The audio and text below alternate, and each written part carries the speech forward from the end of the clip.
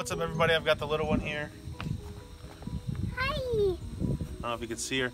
She's gonna help me out today because we're doing some house chores. We wanna clean up some stuff that is pretty much settled, but just wanna make sure it's all wrapped up nice and neat. I'm gonna show you a few things that I picked up. I don't know if you can see it over there. It just started going off.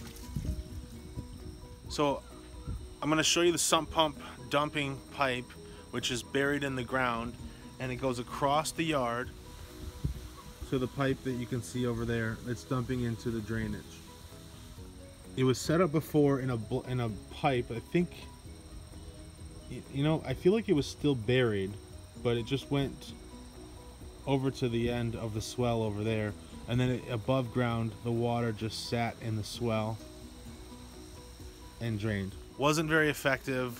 It made that whole area even even now when it's even now when it storms pretty good, it still gets soggy, and most of that's from the neighbor's yard um, as it dumps out. But at least as much as I can control, I want to just make the yard as dry as possible and just dump. So that's what we're doing. I wanted to plug up the hole and I'll show you what I'm talking about right now, but I'm going to show you what I got and then you'll understand why I want to cover the hole. Initially I had this, I cut it up a bunch. You can see I've melted some, cut it down to size. It just wasn't very effective. There's some of the cut pieces. So I decided to pick up these and unfortunately I didn't measure before I went over there. I don't know the diameter of the pipe that I'm connecting to um, and then into the pipe in the ground. So we'll try that. We might need to use this bad boy. Inside the house, I've got the pipe from the sump pump. I need to have an anchor bracket. And again, I couldn't remember exactly the diameter. In case I don't use either of these, I've got this, which you can see it's a hanger strap. I can use that. I assume that I'm going to need to fasten it into the wall. So let's go over there, check it out, see what size we need. I'll probably end up fastening the pipe into the wall first just to make sure, but I want to see if these fit. So let's go. Okay, so what I picked up were these two pieces. It's one and a half, I believe.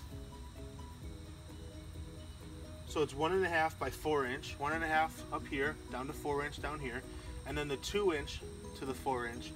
And I wasn't sure exactly how big this elbow joint was, but I'm thinking the two inch to the four inch is going to work. So what we've got is we've got the elbow joint from the sump pump coming out of the house into this four inch pipe that's getting buried as I talked about into the yard here. So what I'm going to try to do is hopefully it doesn't start going off when I try to put this in. There you go. So you can see that the water from the sump pump is draining into this pipe now that it's already started. Just to wait for it to stop a little bit. Push it back into the house. Fit the four inch piece in. And as you can tell, there's a little bit of a gap, but that's not a big deal because what I can do is I can raise up this coupler here. And what I'll do is I'll get my screwdriver and tighten it off. You can't necessarily see it in the video, but this pipe that's in the ground does still go up into this adapter and it will fit. Okay, so I got my screwdriver. I'm gonna raise this up and tighten it down and hopefully I don't need to put any shims in there.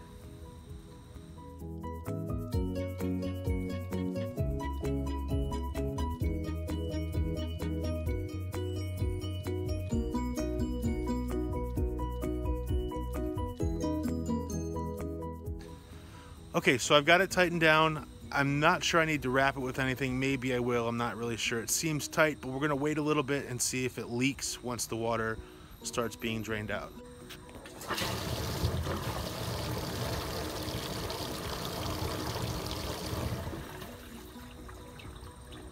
Well, there you see it. It doesn't look like it leaked at all. I still might put some sort of pipe wrap on there, something. I can hear it gushing down at the end. Let's walk over there.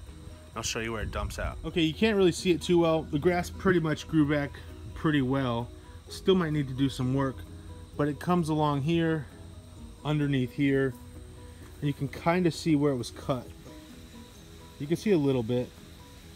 Let's go down there.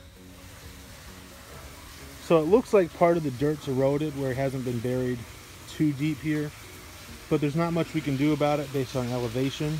You can see it dumps into this. This pipe is my neighbor's, running along the fence.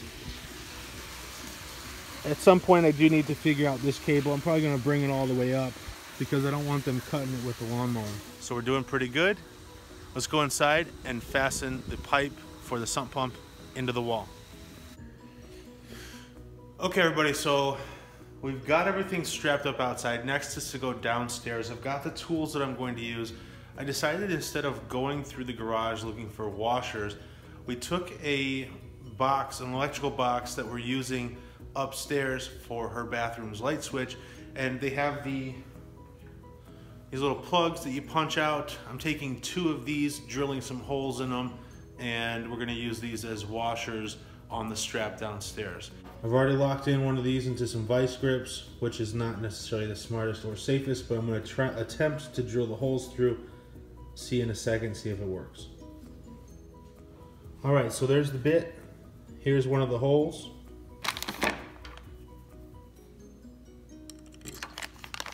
You can see, not super pretty, it's not direct center, but it works. Let me drill the other one. We'll go downstairs. Great, now I've got two washers. We'll use these anchors and figure out which one of these clamps we need to use. We either got the two inch or the one and a half inch. If neither one of these works, I guess we'll have to use the hanger strap. We might need the lightsaber along the way, so let's check it out. Okay, so I'm standing right in front of the sump pump closet. About a year ago, maybe a year and a half ago, I don't know, I replaced the sump pump, the motor burned out, and I installed a check valve. There wasn't one here previously, which made a lot of issues as far as the motor going off. So that's down below. The pipe running along the wall, which we just fixed outside, I'm gonna attach this bracket to a little higher up and hopefully keep it from moving around. Maybe I might need to attach a couple brackets, but this should be good. I've got these, uh, I don't know what this is called on the, on the end here, um, a butterfly molly. I'm not really sure, I don't really know a whole lot about this stuff, but I figured this would give me a more secure, uh, I guess, holding or fix to the backside of the drywall than anything else like a regular molly. So I'm gonna drill the holes. It's a 3 8 inch hole that I'll be drilling. I'm gonna drill them real quick and I'll put these in. In order to attach these, these that bottom triangular or whatever shaped part, you had to take it off and put the, put the nut through and then put it back on. As you can see, I got my homemade washers on there doing their job pretty good. So let me drill the holes. I'll show you what I'm doing. Oops, that fell off. And uh, we'll keep going. Okay, so you can see I, I, if it'll focus, I drilled the holes there. What I ended up having to do was taking this whole thing apart, hold the bracket up and drill through the holes on the bracket. I did bend this bracket just a wee bit, just to make it a little tighter. Wanted to get the holes a little closer. What you'll want to do when you put these through is that you'll have to bend the bottom parts here so they're flush with the bolt You'll also want to make sure, if you can, hear them clip back into place basically by snapping open. So I'm going to try to do that right now, and then we'll tighten this thing up. Okay, so what I want to point out is obviously you can see these holes are way bigger than the previous holes. And I don't even know what I was thinking. Just kind of silly to not measure this, but they do need to be a lot bigger.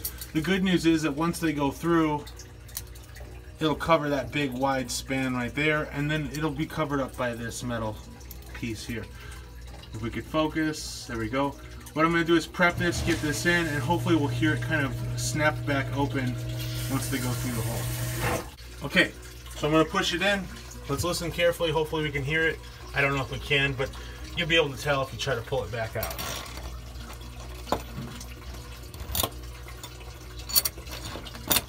Okay, I didn't really hear anything. Confident it's in, because well, that didn't open up all the way. Hold on. Okay, so what what my my flaw there was I didn't thread it through far enough because the whole thing twisted. When it goes through far enough, it can't twist. So pretty much locked in. I'm just going to screw that in tighter and we'll see how it looks. All right, so I tightened it up. I got my man-made washers, my homemade washers, I should say. Now I probably could have used the one and a half inch pipe here, but I really wanted to do the two inch because sometimes you want a little flexibility on the line here. I'm assuming that outside, just in case it gets bumped, it won't really rip, but as you can see, that's really nice and tight in there.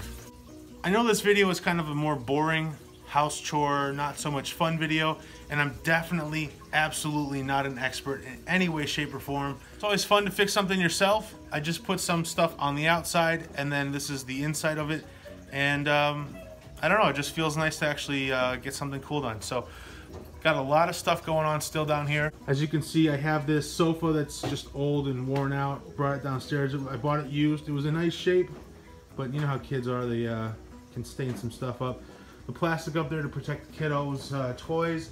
Moved my wood roll top desk down here. Got my TV, my spare TV.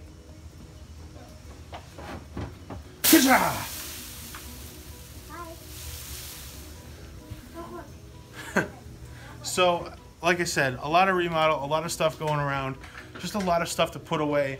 Got some crates for things to put some stuff in so uh, no bugs or anything get inside and ruin it and um, just keeping plugging along with the remodel. So thanks for checking out this particular video. I'm probably going to have some stuff in the very near future updating some of the remodel situation, putting things away, making it look nice. I'll show you the final touches. We've got one more, well actually two more videos. We got one video that we're going to do, probably do one on her channel. It's Ancestry DNA. If you want to see that, keep uh, your eyes peeled for that to release. Maybe we'll do that today. I've also got 29 Amazon dash buttons that I've got that I want to hook up and do an open box review on.